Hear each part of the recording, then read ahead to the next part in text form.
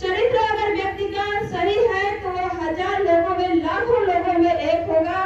तो मैं ये नहीं जानती हूँ कि हमारे परिवार वाले नाराज़ हैं या खुश हैं, लेकिन मैंने, मैं वही करती हूँ कि जो हमारे समाज के हित में होगा, जो हमारे देश के हित में होगा, मेरे लिए वो सर्वोपरि होगा। जैसे कि एक शायरी के रूप में मैं कहना ये सबकी ज़िम्मेदारी भी बनती है कि सबसे पहले समाज और देश सर्वोपरि होना चाहिए। उसके बाद जो भी हो, आप करते रहिए, क्योंकि समाज बचा रहेगा, देश बचा रहेगा, हमारा हक अधिकार बचा रहेगा। तभी जाकर हम शांतिपूर्वक जीवन जी पाएँगे और आने वाली पीढ़ियाँ भी मिलेगी। एक शायरी के माध्यम से मैं बोलना चाहूँगी कि तेरे इश्क में सनम, तेरे इश्क में सनम दिलो जान कुर्बान है, लेकिन भीम के मिशन पर तेरा इश्क भी कुर्बान है, तेरा इश्क भी कुर्बान है। तो और ज़्यादा समय तो संचालक महोदय ने कहा कि साथ में बोलिएगा, इसलिए थोड़ा जल्दी जल्दी हो रहा है क्रम वाइज अगर इतिहास उठाए।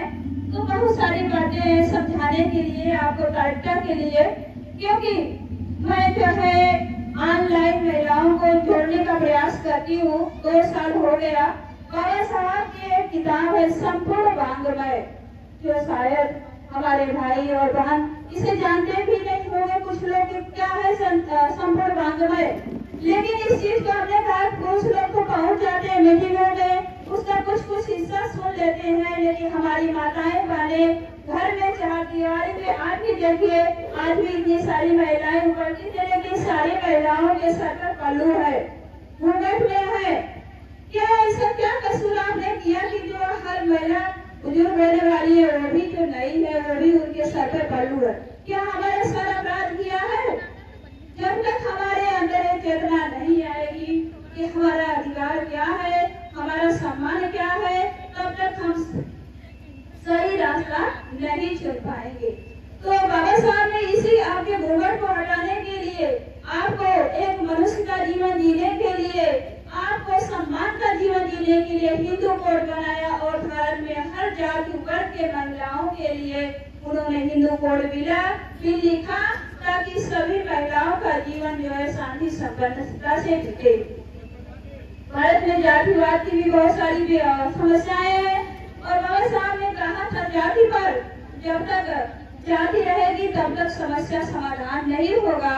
जैसे कि रैदास जी ने भी कहा है कि जाति जाति में जाति है, जस के तन के पास दास दास मनुज ना जुड़ सके जब तक जाति में जात जब तक हमारे अंदर ये रहेगा, अभी एक लड़का प्रश्न पूछा कि बिंद को क्या मिलेगा?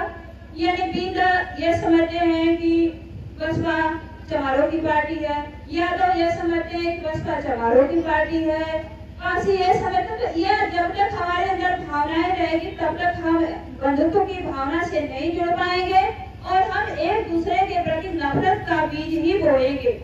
तो भारत में हम रहते हैं तो एक बंधुत्व की भावना होना चाहिए, क्योंकि बसपा गवर्नमेंट ही ऐसी गवर्नमेंट रही है और आज है भी। कि सबको समानता का अधिकार दिया, जैसे कि अभी माननीय साहब जी अभी बोले कि कितने कितने लोगों को हर पार्टी के लोगों को जो है प्रतिनिधित्व मिला है और यह संभव है तो सिर्फ़ बसपा पार्टी में ही संभव है। आप देखेंगे कि कोई मुख्यमंत्री बनने के बाद रोड पर नहीं आता है, जब गांध का की गवर्नमेंट थी उस समय उन्होंने यह देखा कि गाँव में रोड बना कि नहीं। उसके लिए वे खुद चलकर आती थी, गाँव में जाती थी। और गाँव के जो अधिकारी जो अधिकारी उस क्षेत्र के होते थे तर तर तर कांपते थे और जो आदेश आ जाता था, वो गाँव में जब चलने का जगह नहीं था, इतनी कचरे रहते थे, आज हर गाँव में जाइए, रोड आरसीसी पक्का सब कुछ बन गया है।